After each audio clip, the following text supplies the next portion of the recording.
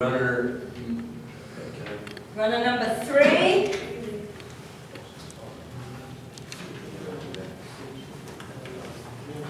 world-class runner. World-class runner. Okay, we broke this down, and we think that she is in stage three of running. Um, we think that because her arms are low, um, arm opposition elbows nearly extended. And then the only thing that we didn't like about stage three was heel to toe contact. It's not really there. Basically, she's running flat footed. Yeah. She has a good stride, but She has a good stride, her arms seem to, You know, have a full Yeah. swing. uh, that's why we didn't think that she was before. Okay. I would, um, if I was assessing it, and I wasn't having to report it, in my head, I would probably say, okay, she's a two and a half.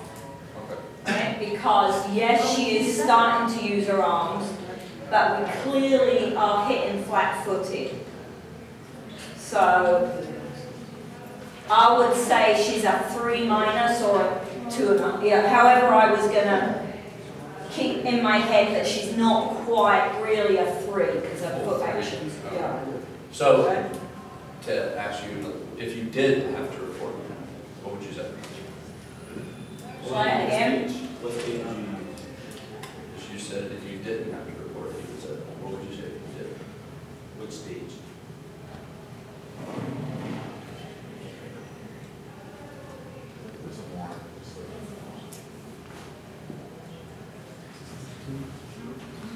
But her Probably arms- a Her arms aren't- Probably a three, but it's Yeah, The only thing on one is that she's flat. iffy. yeah. Because her arms aren't high, like you said. No, uh, one is very much here. You know, it's up and down, up and down, up and down, and she is moving forwards, not bobbing up and down. Um, but it's a very weak three, if it's a three. Read and talk to her parents. Yeah. She's gotta work. What about on the TGMD then? Um. There's no run. There's no run. There is. Where? On the other one is. Where? Oh, then it didn't print off on the road because, uh, Yeah, mine didn't print off. Because we don't have loans on ours. Mine just got. This is all that came up on the uh, on the PDF. this is all I printed. Mine too. You've only got object control? Oh, yeah. Those are both of them up there. When I printed all, all, yeah, that's all it said four instead of seven.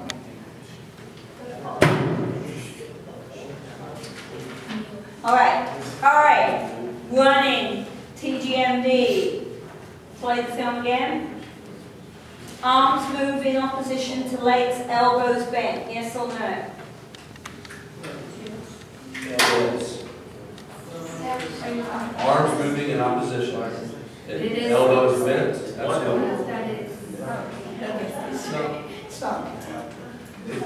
Oh, she got This one is a elbow best, bent. right? Yeah, I would say no, I would give that a zero. But it's opposition. Yes, she's in opposition, but her arms aren't bent. and- Only one is. Yeah. It's not consistent. Brief period where both feet are off the ground, yes or no? Yeah. Difficult, Yeah, ju- briefly. Barely. just about, Embarrassing. just about. He, she is like, like a point three. Narrow foot landings, difficult to see that from the side, you really need to film or watch it from the back. So when they say narrow foot placement, they're talking about, are the feet underneath the hips? Or are they wide? Heel toe or flat footed? Flat footed. Flat footed, so I would give her a no for that anyway, alright? Non-support leg bent approximately 90 degrees. So the leg at the back as it's kicking up,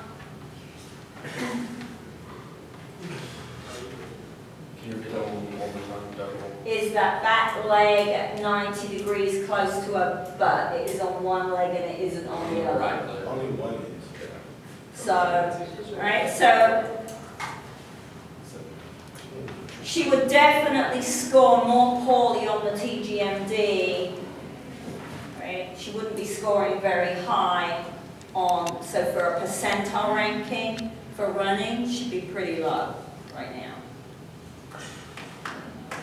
And here is our second runner, who's gonna make it to. This is, this is the X-ray Bush right here. Yeah, there you go. Yeah, we got, we got stage four for this, for this guy right here. Yeah, he was doing his thing. He had good heel toe contact, um, arm leg opposition,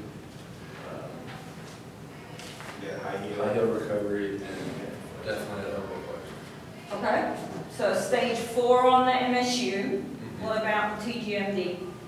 Oh. Yeah, we didn't have So, arms in opposition, elbows bent, yes or no? that. Yes. Okay. Period where there's flight phase. Narrow foot placement, heel toe contact, yes. Right. High knee recovery, pretty good. Yeah. Flight phase, I don't think he got the ninety degrees is though. pretty He's kind of stiff. close. Oh, man, he got stage four.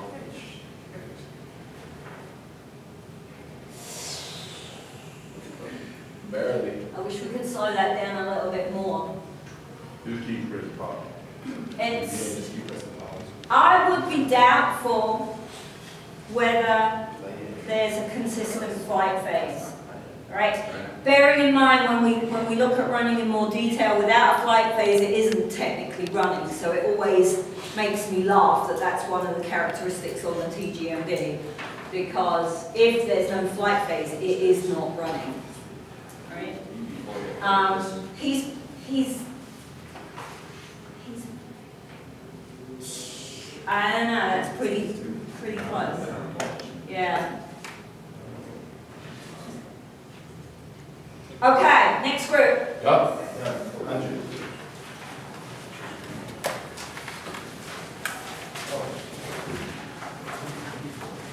Silas James.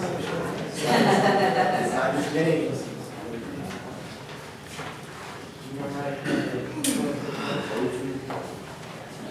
Things that have.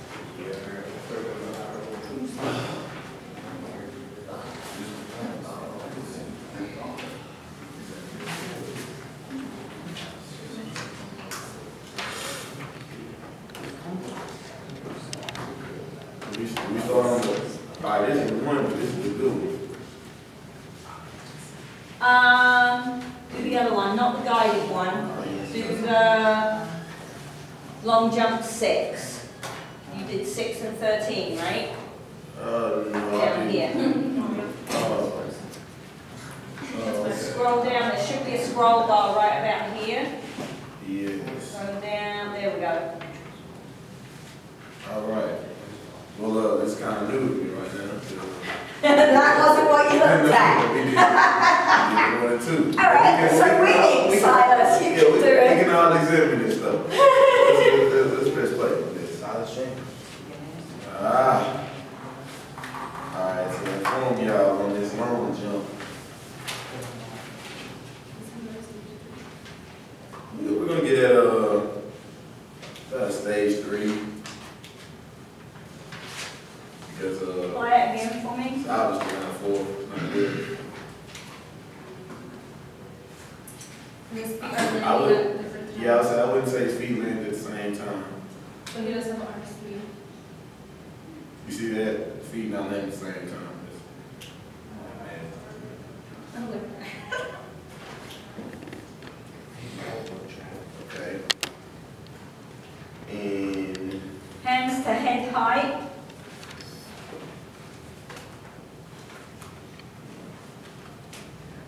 It, you can kind, it's kind of there, but it's not.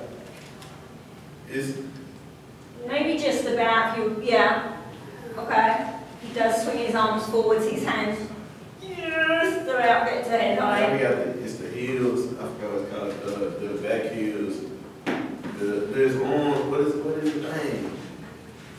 If his back heels, uh, lift when he swings his arm. swings his arm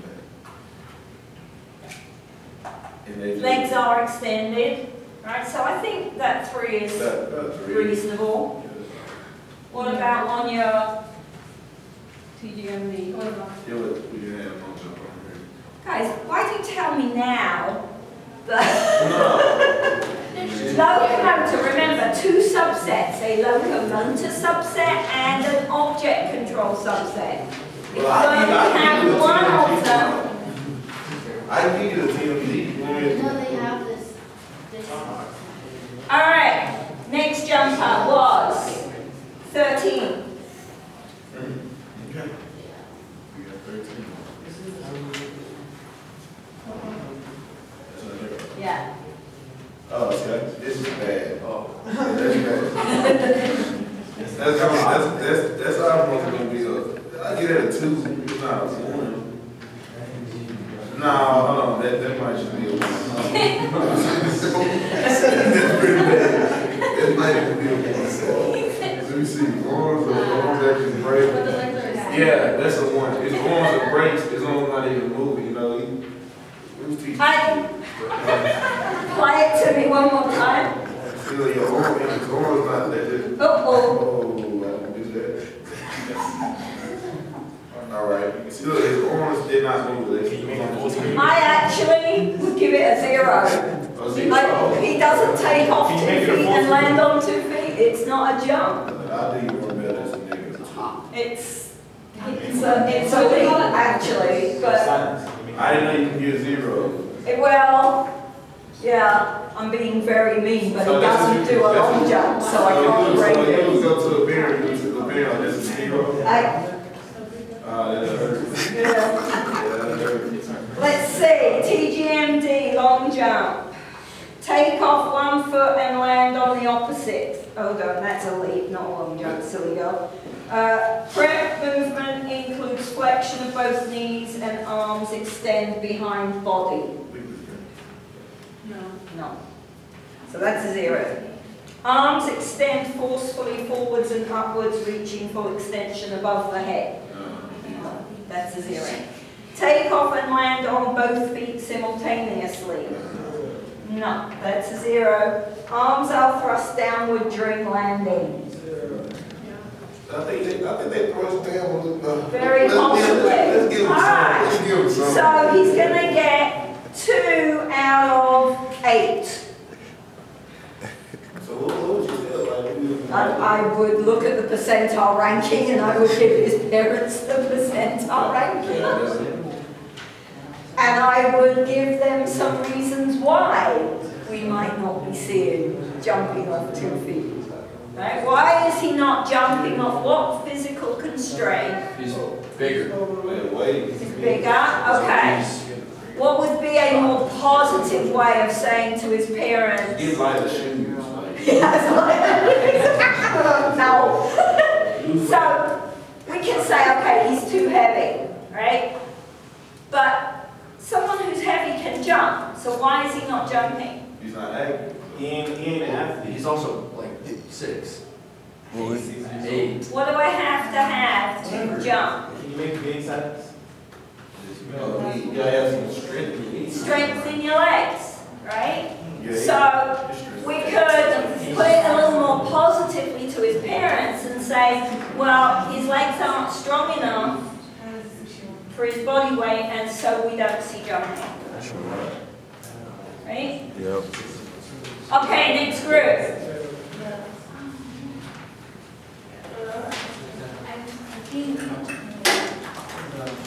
That was funny, bro. Yeah, that's pretty bad. No grade. Yeah, so.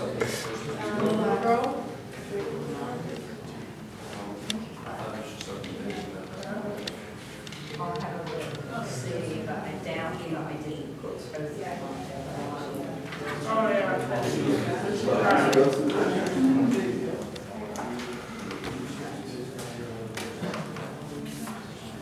Oh, Hey, what an athlete. Okay. How cute. What an athlete.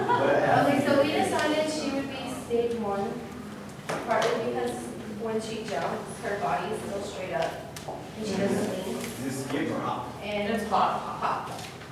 And her arms still go shoulder height.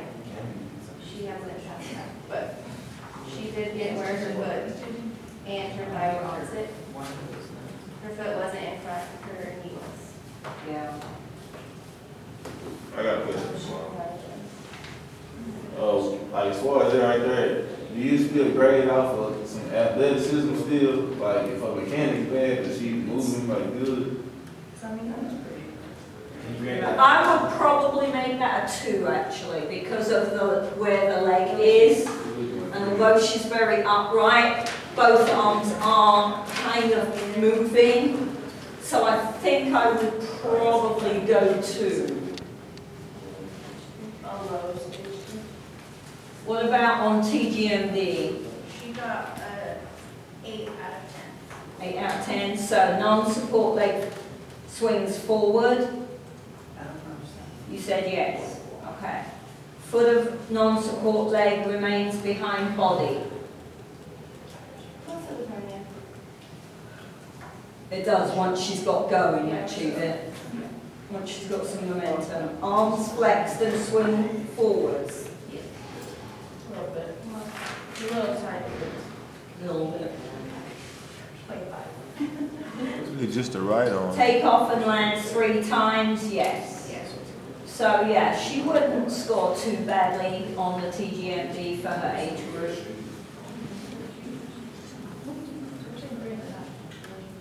Okay, hopper number nine. We did number nine, this is number five. Oh, sorry.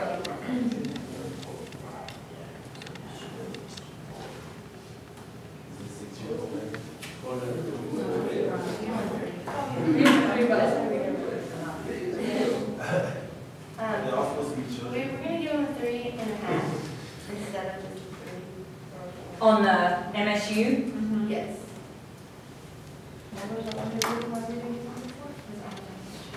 Yeah.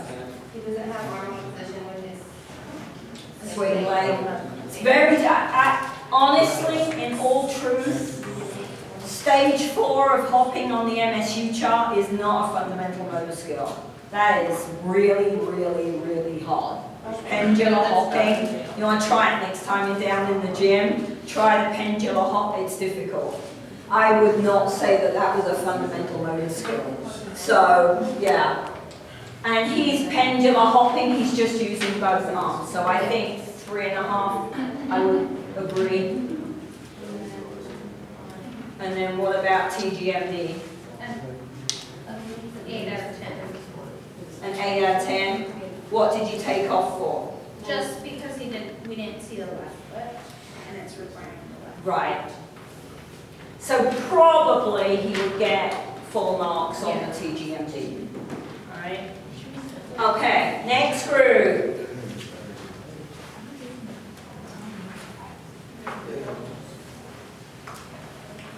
We've got throwing, striking and catching. Who did, which one? You guys got striking? Okay.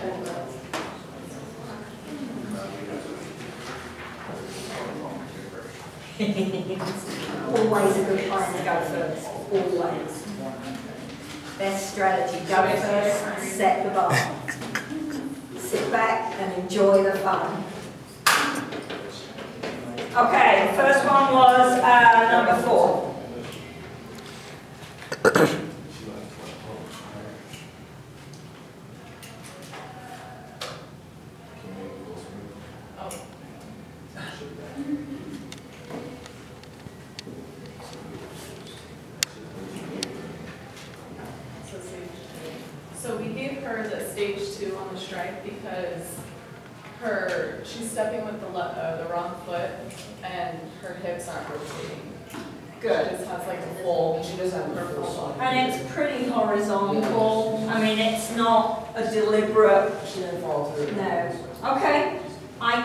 that's a good choice. And then uh, I'll TGMD and it's not that we didn't have the one. They didn't have strike on it. Or not, not one, yeah.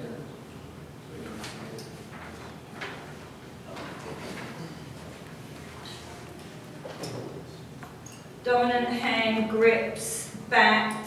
Okay, so the problem with the strike on the TGMD is it's a baseball strike. Right, not a tennis strike.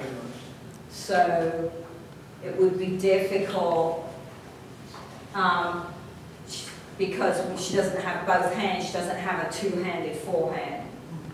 So, um, don't have glasses on, non-dominant side of the body.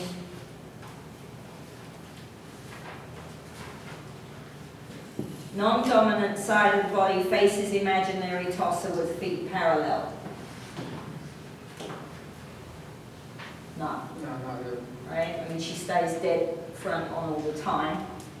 Hips and shoulder rotation during the swing.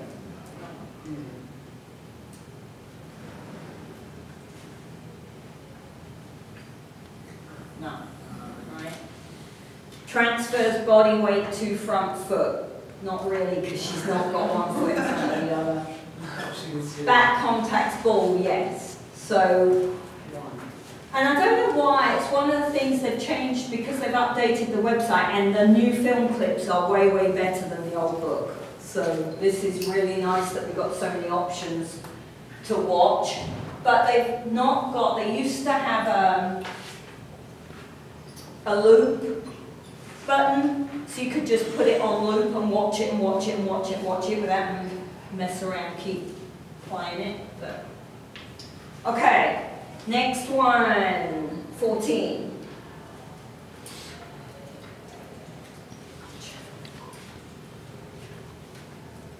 Okay, so we decided to give this person stage four, Okay, because they are stepping up opposition foot and they wind up all the way and rotate all the way to the follow through. excellent. Okay, good. So on, again, we can't do characteristic one because it's the wrong kind of strike. Uh, characteristic two, non-dominant side of the body faces the tosser with feet parallel. I would probably say yes. I mean, it's less appropriate to a tennis stroke than a baseball stroke, right? Because we're not doing this. But she is side on as she moves to the ball. Hip and shoulder rotation during the swing. Just a little bit. Transfers body weight, yes. Okay, so she'd score quite well on both assessments. Although you really would not use a TGMD on her, she's too old, right? The- This is for fourteen-year-olds. Three, three to fourteen. Maybe she's fourteen. Maybe she's fourteen. Yeah, I, I don't, so. All right, next group. Catching or throwing.